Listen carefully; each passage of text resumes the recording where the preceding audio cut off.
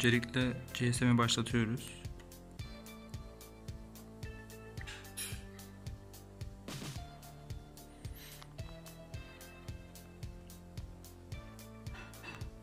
Onay mesajı alacağız.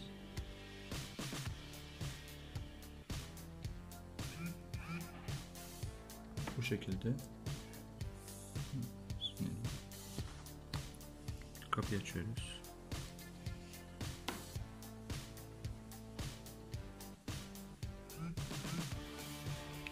Gördüğünüz mesaj geldi.